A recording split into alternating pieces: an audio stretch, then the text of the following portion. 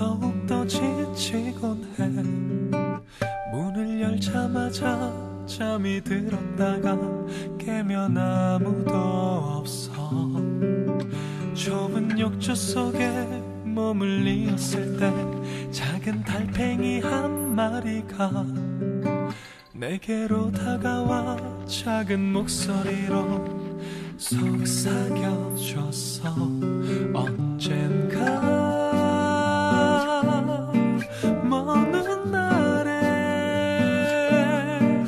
저 넓고